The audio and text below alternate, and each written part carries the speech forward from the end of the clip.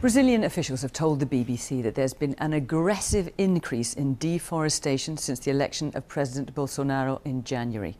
An area of Amazon rainforest roughly the size of a football pitch is now being cleared every minute. The rainforest, which plays a vital role in regulating the Earth's climate, covers an area 20 times the size of Britain. Nearly two thirds of it is in Brazil. Crucially, it absorbs billions of tons of carbon dioxide every year and produces 20% of the oxygen in the atmosphere. In the first of a series of reports, our science editor David Shukman has been to see how decades of conservation efforts are being reversed. The rich greens of the most vibrant habitat on Earth. The billions of trees store so much carbon they help to slow down global warming.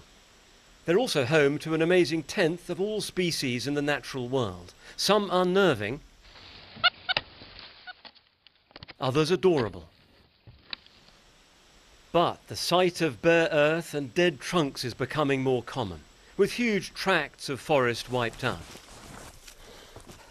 My footsteps and distant bird song are the only sounds. It's tragic to see this close up.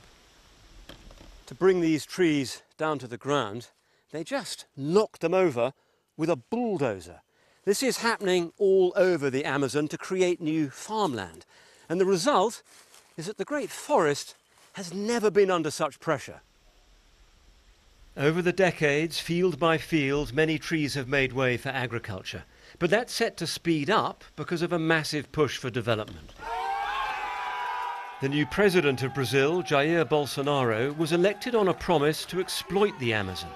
He's delighted his supporters by saying too much of the forest is protected. His environment officials are deeply worried, but he's banned them from saying anything in public. You're trying to save the forest. So we have to meet this official in secret.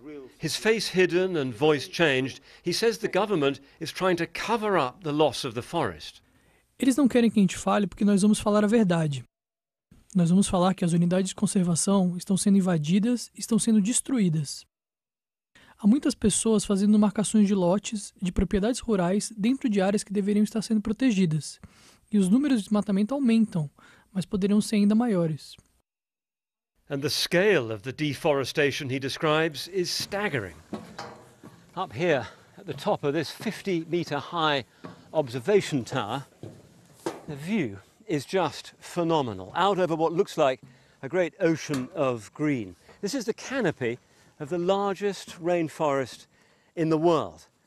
The problem is that more and more of it is being chopped down. It's hard to believe, but an area the size of a football pitch is being cleared every single minute.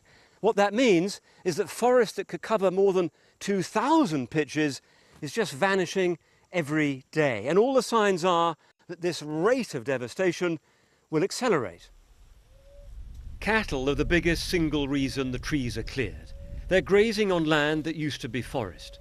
Brazilian beef is in big demand all over the world. And the President's vision of expanding agriculture here has delighted the farmers, like Vanderlei Wegner, who says other countries cut their forest down long ago. Nós temos que desenvolver a Amazônia, né? Porque vamos supor aqui na região do Baixo Amazonas, na região de Santarém, vive mais de 4 milhões de pessoas. Então, se precisa ter um desenvolvimento também, é um direito constitucional. Farming on an industrial scale has already reached the Amazon, but the government wants to see more of it. And to weaken the laws protecting the forest. We asked to interview two ministers about this, but they both refused. A line often heard here is that only Brazil can decide what to do with the forest, no one else. But the fact is, the more trees are cut down, the more we lose one of the few things holding back the rise in global temperatures. So what happens here in the coming years matters far beyond Brazil. David Shukman, BBC News, in the Amazon.